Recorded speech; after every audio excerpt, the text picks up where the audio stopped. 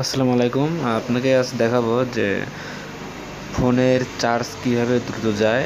তার আরেকটি কারণ হচ্ছে, যদি কোনো অ্যাপস আপনার এক্সটার্নাল এসডি কার্ডে ইনস্টল হয়, যেমন ধরুন এই অ্যাপসটি এক্সটার্নাল এসডি কার্ড ইনস্টল হওয়ার পর আপনার ব্যাকগ্রাউন্ডভাবে সকল ডাটা রিড এবং রাইট দুটিই হয়।